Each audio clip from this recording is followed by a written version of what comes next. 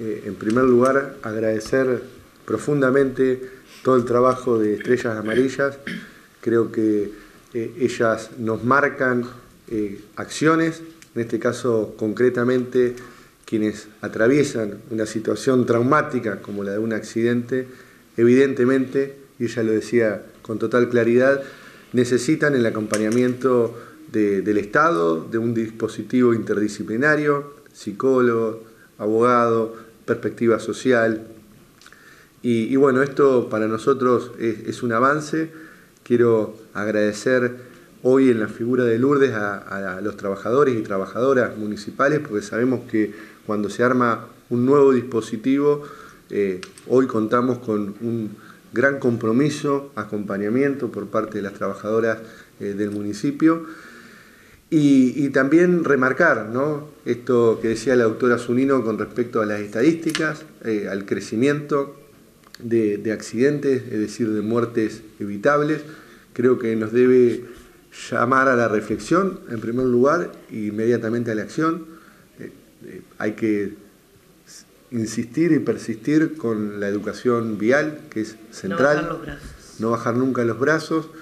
Eh, y bueno, y comprometer a todas las instituciones, a todos los ciudadanos, por eso para nosotros que hoy estén los medios es muy importante, eh, porque esto es un dispositivo nuevo que queremos que no se use, claramente, porque es para asistir a víctimas de, accidentes de tránsito.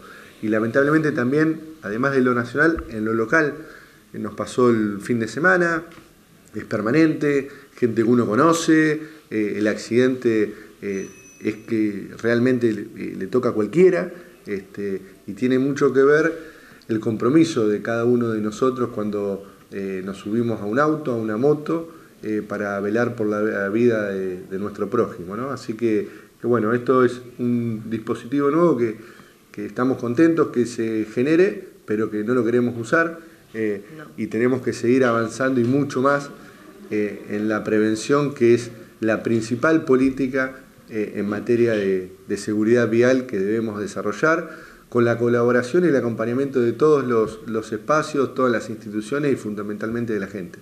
Se inaugurará eh, el monumento que fue, eh, se realizó un concurso en el cual participaron tres grupos, uno unitario y quien fue el ganador fue Jorge Blanco y Jorge Blanco ganó y bueno, eh, es una manera más de transformar ese dolor en amor y que más personas visibilicen esto que está sucediendo y que atrás de, todo esto eh, nuestras víctimas son los protagonistas.